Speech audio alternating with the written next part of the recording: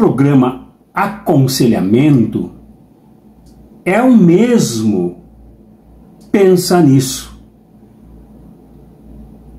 Avaliei que com esse nome os as espectadores, espectadoras percebem, perceberão desde o início do que se trata e não de pensar. Né? Pensar assim, lucubrar abstratamente, não. Logo as pessoas se darão conta de que trataremos aqui diretamente de problemas vivenciais, reais das pessoas neste campo de aprendizado que é o aconselhamento. E sobre aconselhamento, já expliquei em edições anteriores, não foram muitas, do Pensa Nisso, que não se confunda com conselho. Diz o povo que se conselho fosse bom, ninguém dava, vendia.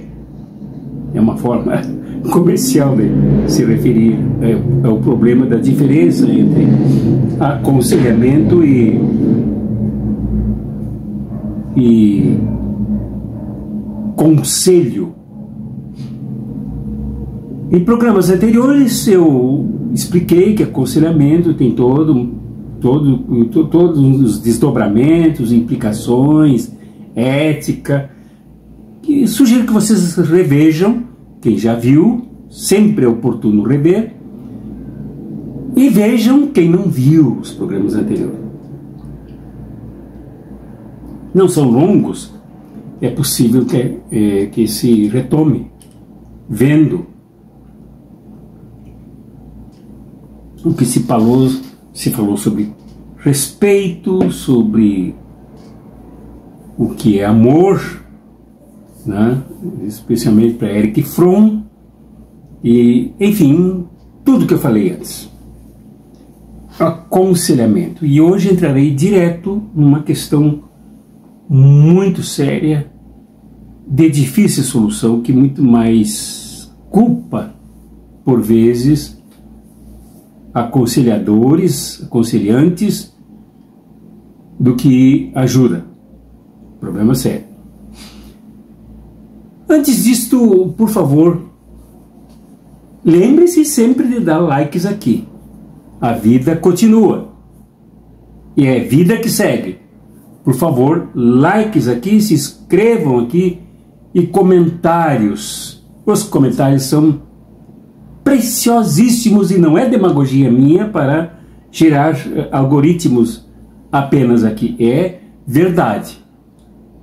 Há alguns comentários do último programa que fiz, que é Fé e Luta, que são maravilhosos, são impressionantes.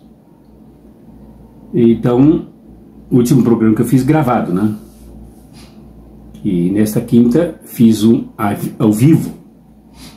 Então vocês percebam que esses comentários eles acrescentam e bem como eu sugeri, levantam perguntas. As perguntas aqui serão sempre relevantes. Tanto que no Fé e Luta, para o Fé e Luta, eu, eu buscarei uma pessoa para ajudar a responder esta pergunta que lá consta do programa, que é muito séria, muito importante. A pessoa se chocou, ela se choca, se envergonha com uma determinada coisa e fez uma pergunta de como resolver isso. Então, comentei, por favor, que tudo será levado muito a sério aqui.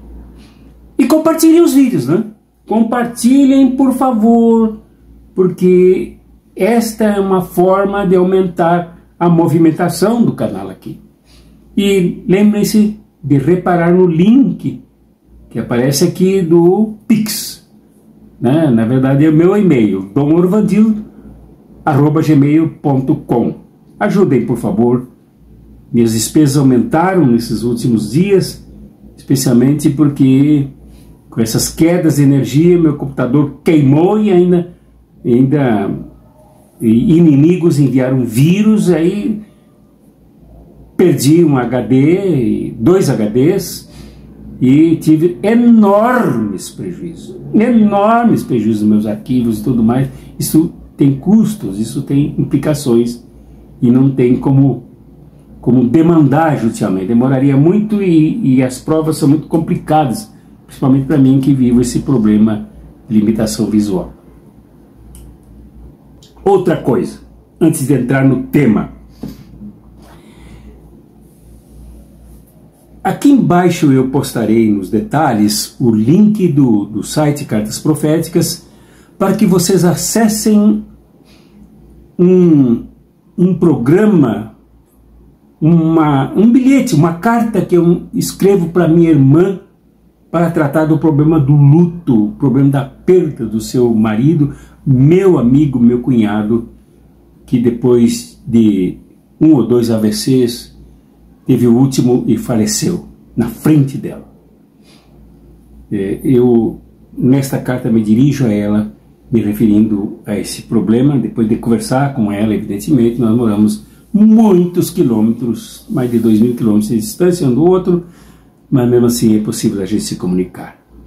E nesta carta, interessada a minha irmã, eu posto embaixo um texto do meu amigo que está virando assessor aqui do canal. Pessoa séria, um teólogo, pastor, estudioso, escritor, pastor Silvio Menck. E ele escreve sobre essa questão da esperança diante da morte, do que encontrar após a morte. É um texto muito bonito que vai, recomendo que vocês leiam. Acessem aqui para ler. Ele mora na Alemanha e assiste os nossos programas de lá. E eu valorizo muito a sabedoria do pastor Silvio Menck. Nós conversamos um com o outro por áudios, ou assim como verdadeiros amigos, com intimidade, com conhecimento do que um faz eh, da sua vida em relação ao outro e em relação a si mesmo. Bom, voltando aqui à questão do, do tema de hoje que é, que é o problema de como agir com pessoas enlutadas por mortes súbitas, aquelas repentinas, inesperadas. As pessoas não se tratavam, nada, de repente morreram por uma, uma situação ou outra. Ou as mortes naturais. Nós vivemos um momento de profundo luto sobre o mundo. Nem bem saímos e não saímos totalmente de uma pandemia que matou milhões de pessoas no mundo. Antes e durante isto, milhões de outras morrem de fome. Isto implica em dor, luto, perdas humanas valorosíssimas. Com a pandemia, ainda nós sofremos no Brasil, além de perdas de mais de 700 mil pessoas, e há quem diga que esses números são são subnotificados, que há muito mais de um milhão de pessoas mortas, ainda tivemos todo aquele problema do deboche, é, do negacionismo, né, do obscurantismo, da negação da ciência, do terraplanismo, de toda aquela barbárie que sofremos de um desgoverno que ajudou a matar essas pessoas. O luto, então, ele cresceu de tal forma, enriquecido aqui, coloquemos entre aspas a palavra, enriquecido pelo ódio e pelo sentimento de que poderia se ter feito alguma coisa, o país, o Estado brasileiro, brasileiro poderiam salvar muitas pessoas. Isto é luto. O luto é composto de vários elementos que redundam em um buraco na alma, um buraco mental, um buraco espiritual, em muitas desagregação de quem tem perdas importantes. Além disso, nós temos estas guerras na Síria, com os bombardeios promovidos pelos Estados Unidos, esta guerra na Ucrânia promovida pela OTAN, que provoca a Rússia, a Rússia teve que intervir, milhares de pessoas perderam as vidas e as que não perderam as vidas sentir, se, se, vivem prejudicadas, perdas de membros, doentes, dilaceradas para o resto de suas vidas Isso implica em luto também, sofrimento.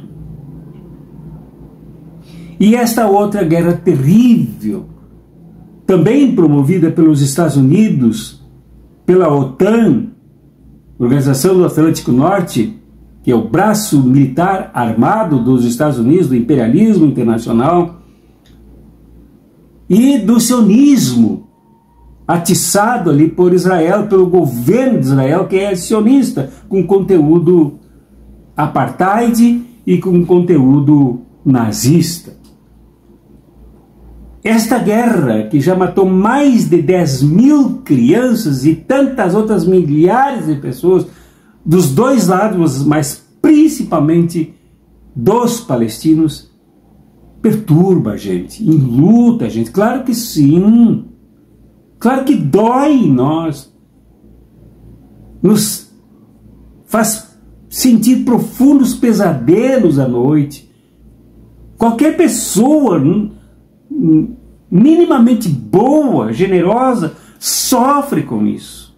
Sofre na hora das refeições, sofre ao tentar descansar, sofre ao ver no, o noticiário, sofre ao deitar-se, porque não é possível que nós não nos lembremos de que não se trata de imagens de TV, de noticiário, de vídeos, mas de vidas humanas estraçalhadas. Isto é, luta sobre o planeta Terra. Isso dói em toda a humanidade. Para não dizer em toda a natureza, em toda a terra, no cosmos, dói profundamente, isto é, luto, isto também é luto. Fora as perdas que nós tivemos, né? até de caráter material, empregos, é, poder aquisitivo, habitações, pessoas perderam suas casas durante a pandemia, foram para as ruas, segurança, saúde, isso tudo implica em luto.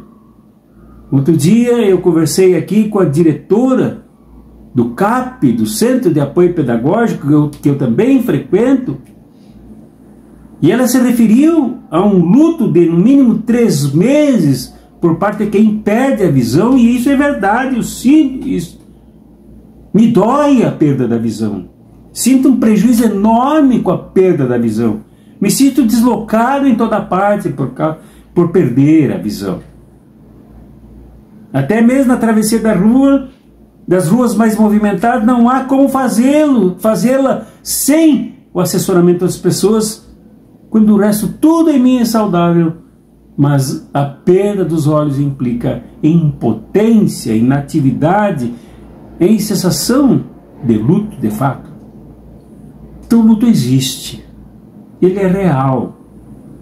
Mas aqui nós falaremos, já iniciando a nossa conversa, e peço que vocês vejam até o fim, porque eu contarei algumas, compartilharei algumas experiências rapidamente no meu ministério, em que tive dificuldade bem jovem, e eu acho que a gente não aprende por toda a vida como lidar com as pessoas enlutadas.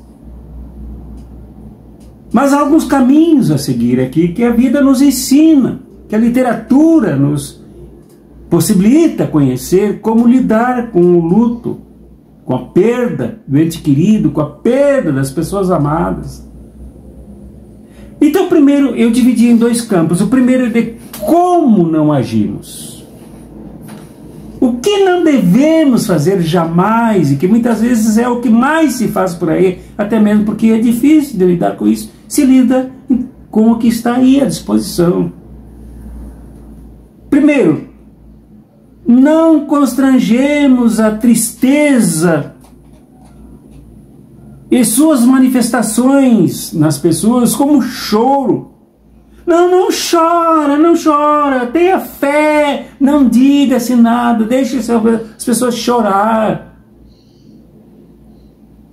O choro é o desafogamento da alma. O choro é a respiração da dor. O choro é a desconcentração do sistema nervoso e psicológico das pessoas. Nunca se diga Não, não, não, não chora, não chora, calma, não chora. Isto bate na pessoa como uma trava, como uma censura, como proibição, tudo muito pesado, que constrange a pessoa. Se em público não chorar, se receber a visita de uma pessoa com a intenção de consolá-la, a visita acaba constrangendo, porque funciona como um refreamento da manifestação da dor. Nada deixa a pessoa chorar. Deixemos a pessoa chorar, sacudir os ombros,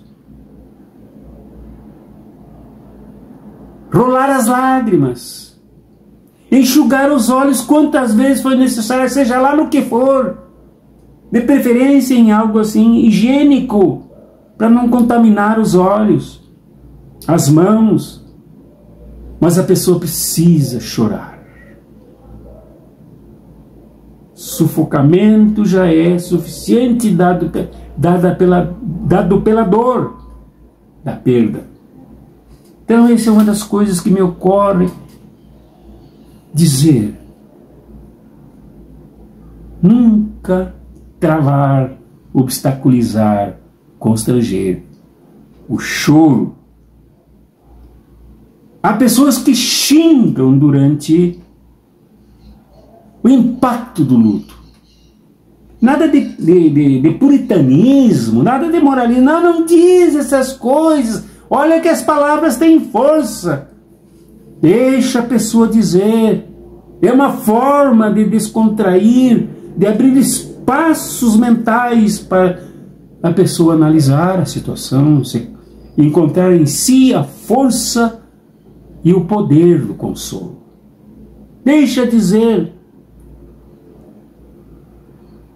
Há pessoas que agem de outras formas, culpando outras pessoas.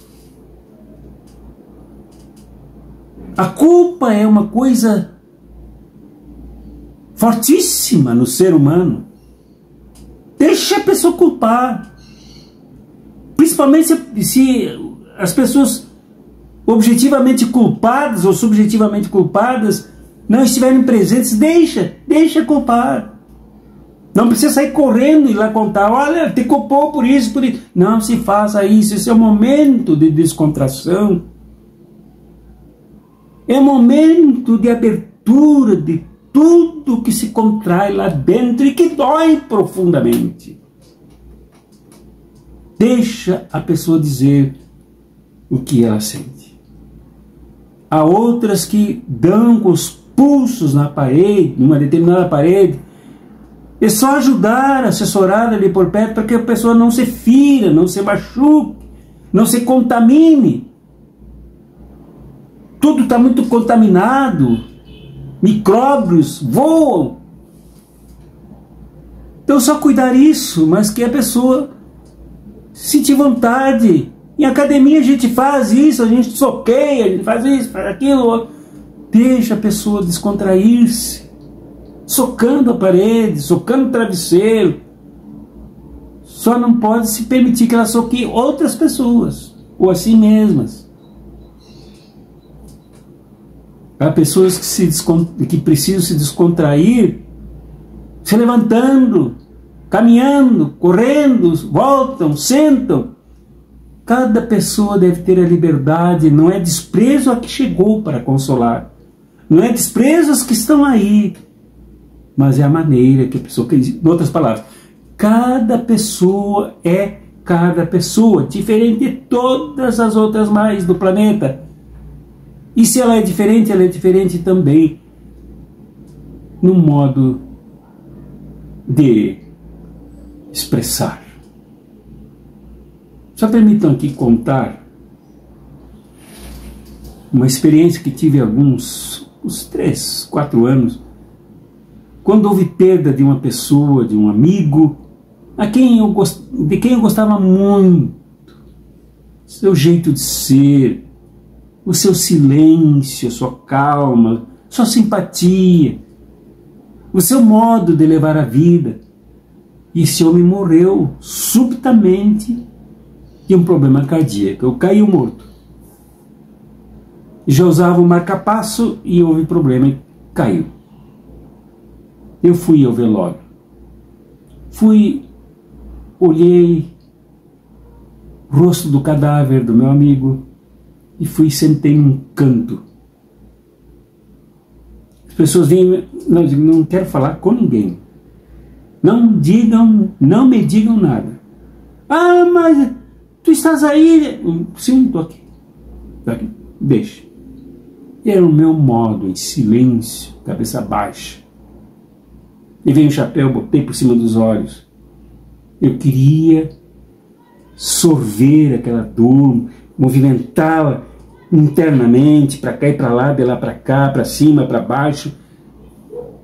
Até que com o tempo eu mesmo resolvi a dor. Mas me blindei.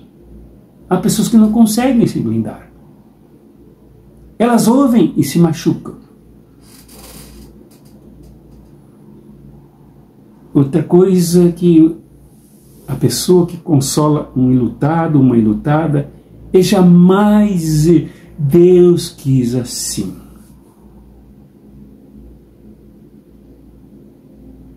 Como? Com base em que se diz isso?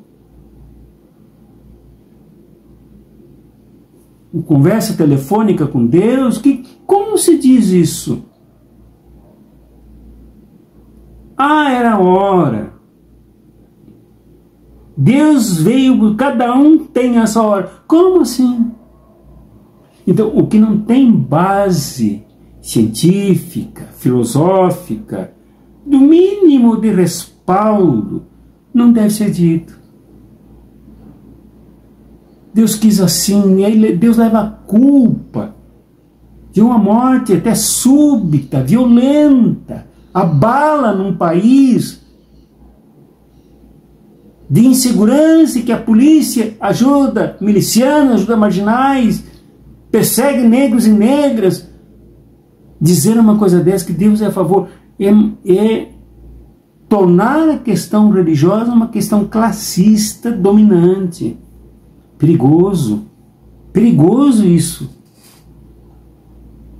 Ou então reforçar as culpas das pessoas enlutadas. Pois é, se tu tivesse feito aquilo que tu me disseste que ia fazer. Lembra? Meu Deus, não, não, não reforça a culpa. A pessoa já, já diz que se sente culpada. Não reforça. Não há conhecimento suficiente sobre isso, sobre o levantamento, sobre a investigação. De que culpa é, qual é o realismo desta culpa, qual é o sentido desta culpa, qual a moralidade desta culpa, qual o valor, qual, qual a axiologia desta culpa. Não vamos reforçar se é para consolar, se é para aconselhar, não reforce as culpas, porque a dor é muito grande e se reforça com prováveis danos à pessoa lutada ou às pessoas ilutadas. Fazer avaliações das pessoas falecidas ah, mas ele era tão bom. Falava mal dele o tempo todo, mas agora ele virou bom para usar uma forma discursiva de falar para a pessoa. Não fala nada. Fala, não faz juízo de valor. Não façamos juízos de valor. Não façamos avaliações. Não demos vereditos de inocência ou de culpa. Ah, não, mas ele morreu porque, na verdade, procurou a morte. Não façamos avaliação. Se disser isso para uma mãe, com relação ao seu filho envolvido com o tráfico de drogas, a dor que isso trans, leva a, a, a mãe a transpassar as suas emoções cravando-se, fincando-se de dor, é de uma atrocidade imensa. Ah, ele quis, ele procurou. A gente cansou de avisar. Na, não é hora de fazer isso. Na hora do consolo, essas coisas não servem para ajudar. E se é para atrapalhar, é melhor não, não encontrar a pessoa. Não tenha medo de que ela de que ela sinta falta da sua visita, mas não vá.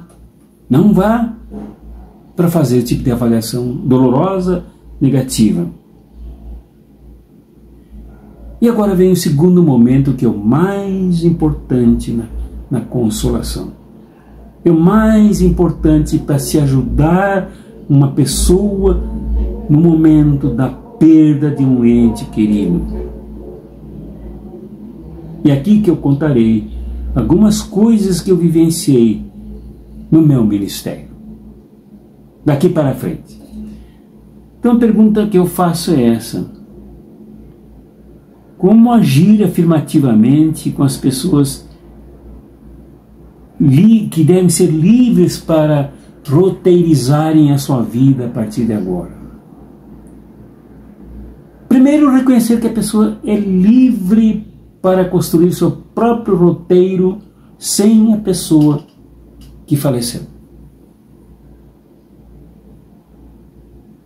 O roteiro não deve ser dado por quem quer consolar, por quem quer aconselhar. E aí eu me lembro,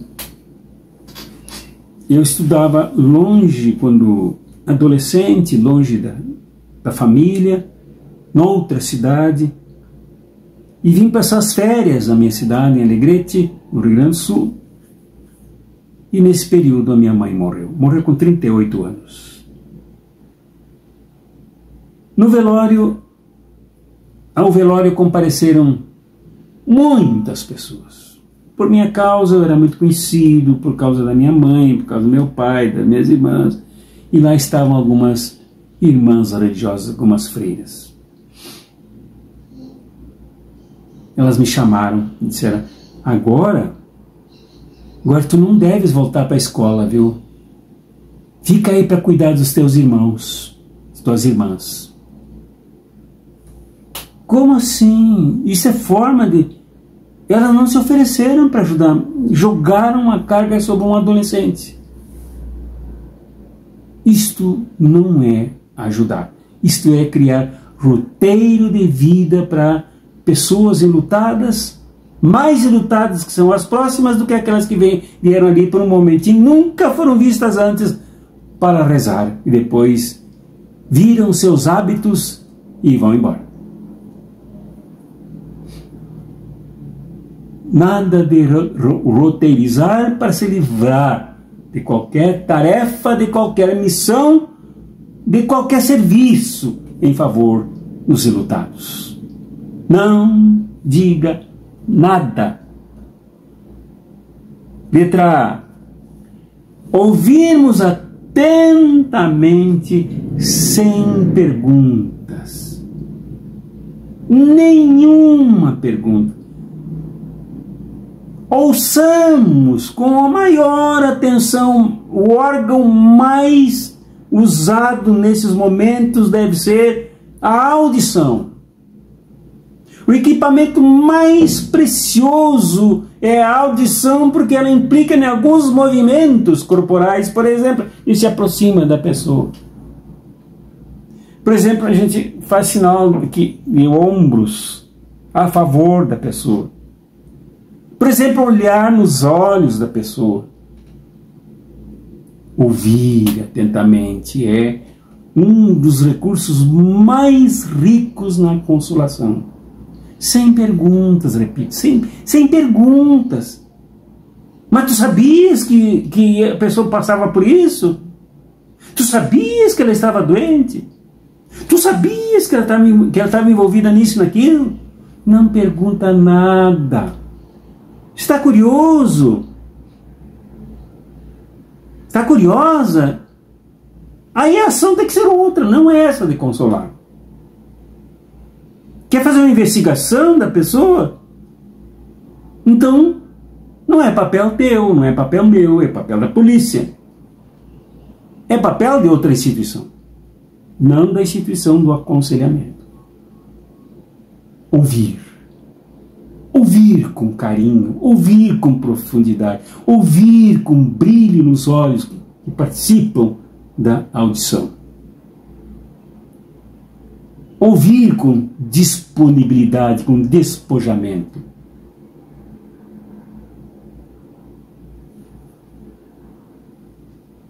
Sinceridade também, a letra B aqui, sinceridade nas manifestações emocionais nossas, que aí nos colocamos à disposição para consolar, para conciliar.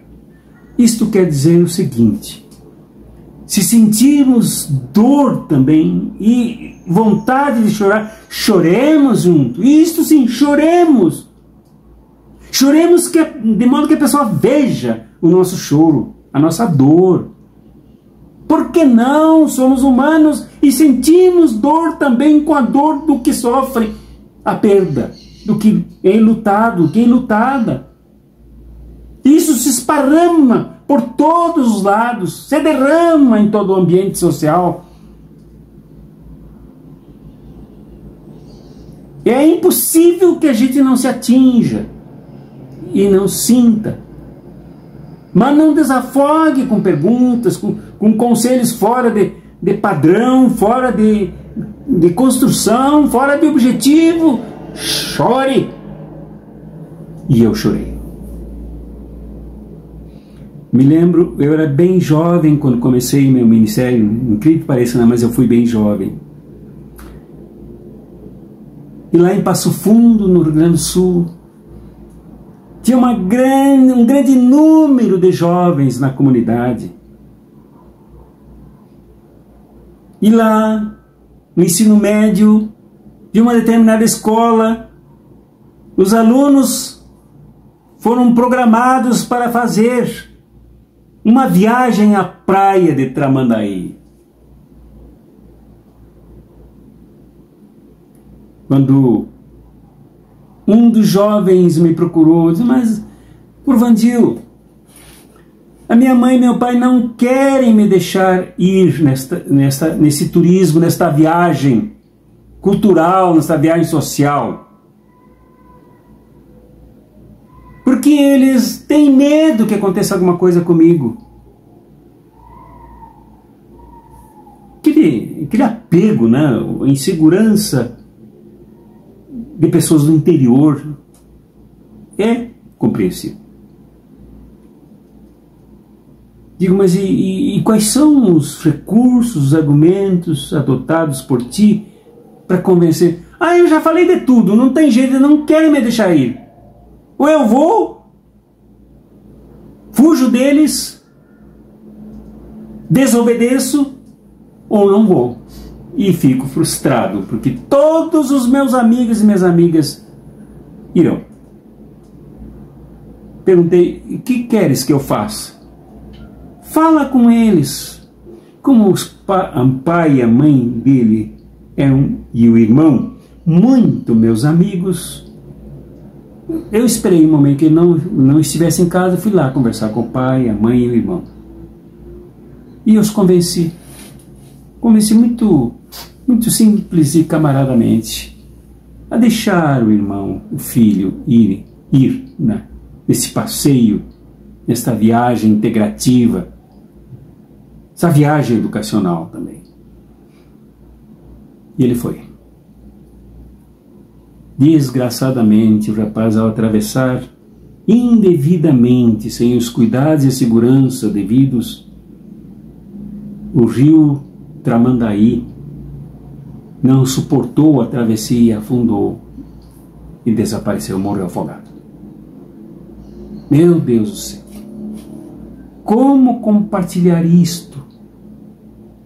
Eu que apoiei a viagem deles, participei dele, participei da decisão dos pais de permitirem a ida deles.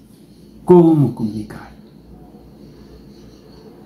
Mas era missão minha, eu soube que soube através de uma notícia de rádio. Estava em Porto Alegre, fui. Sentei ao lado deles. E essas coisas do ser humano são impressionantes. Eles intuíram que ocorreria alguma, ocorreria alguma coisa muito grave. Disse claramente a eles o que acontecia. E fiquei ali à disposição. Evidentemente, o impacto por uma morte súbita foi imenso. Nesta vida, todos dizem que a ordem natural das coisas orienta para que os pais morram primeiro. Mas filho, principalmente criança e adolescente, é completamente fora do padrão. E ali ocorria algo fora do padrão. Eu fiquei ali. Dias e noites até que acharam o cadáver. E até fazer o transporte, o caixão não pôde ser aberto, tal deterioração, tal grau de deterioração houve. Eu fiquei lá em dado momento eu degringolei, eu me desmontei emocionalmente. Chorei convulsivamente. Eu era muito jovem, como eu disse. Me sentia muito chateado, muito triste por, pela minha participação naquilo. Quase me senti culpado. E ainda tive que depois fazer as exéquias, comendação.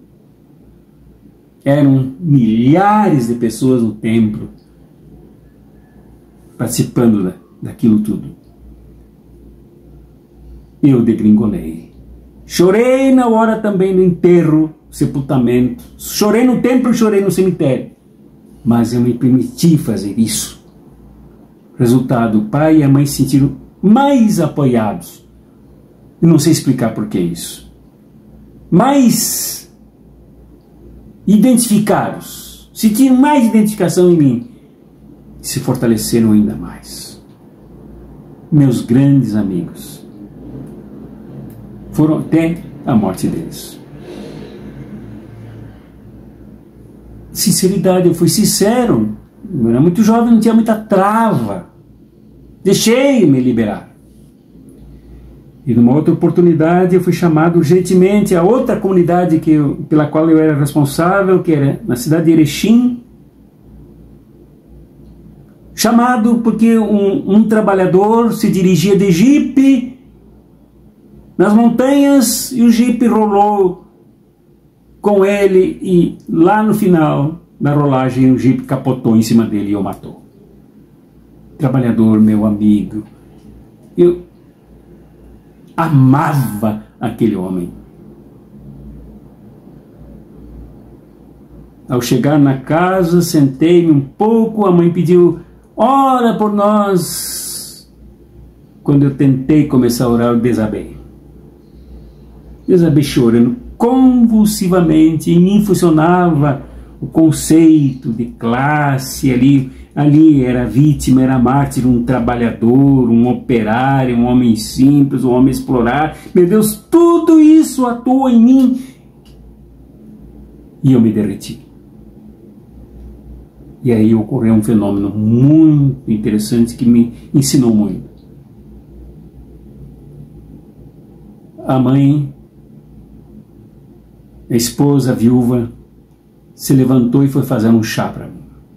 Fogão a lenha, pleno inverno, fez um chá. Disse: Tome, isso vai acalmar o Senhor.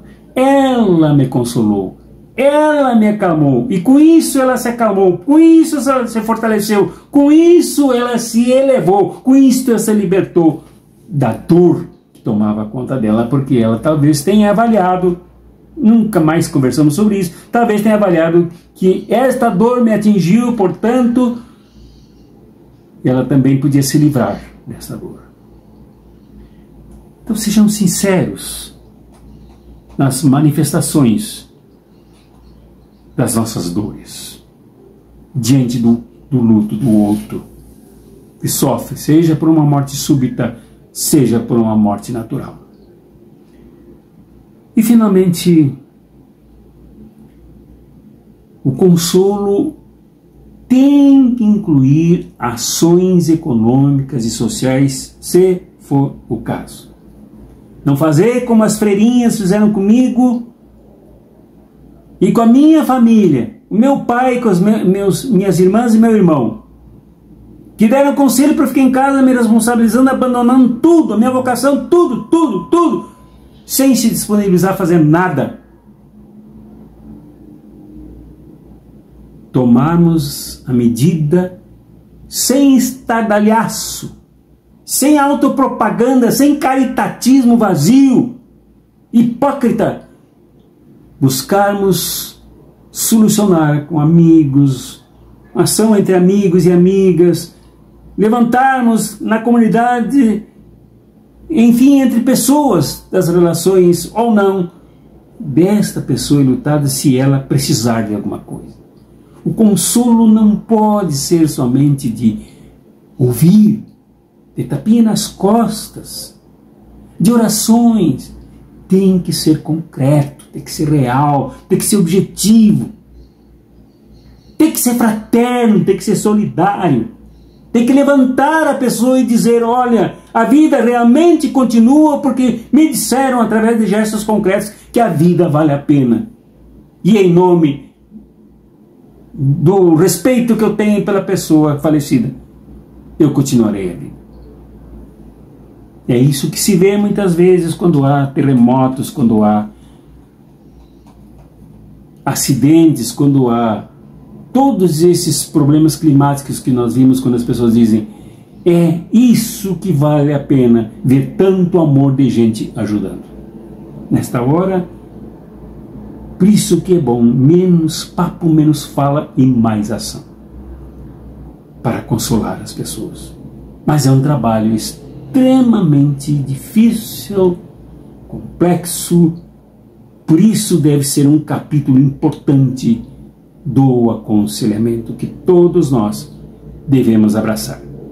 Num país com tantas crises e tão ameaçado como ainda continua o Brasil, nós temos que nos fortalecer mais e mais para nos apoiarmos uns aos outros e não virarmos a, as costas como fizeram as freirinhas, deixando cada um afundar no seu próprio sofrimento sem solidariedade, sem respeito, sem fraternidade.